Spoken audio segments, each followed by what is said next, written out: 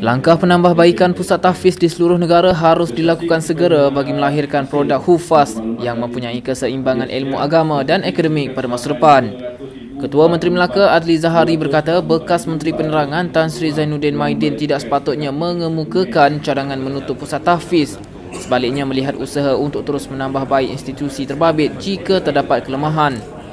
Beliau berkata demikian selepas menghadiri majlis penyampaian hadiah cabutan bertuah pembayar cukai tanah negeri Melaka 2018 di Wisma Negeri Aikroh pada Selasa.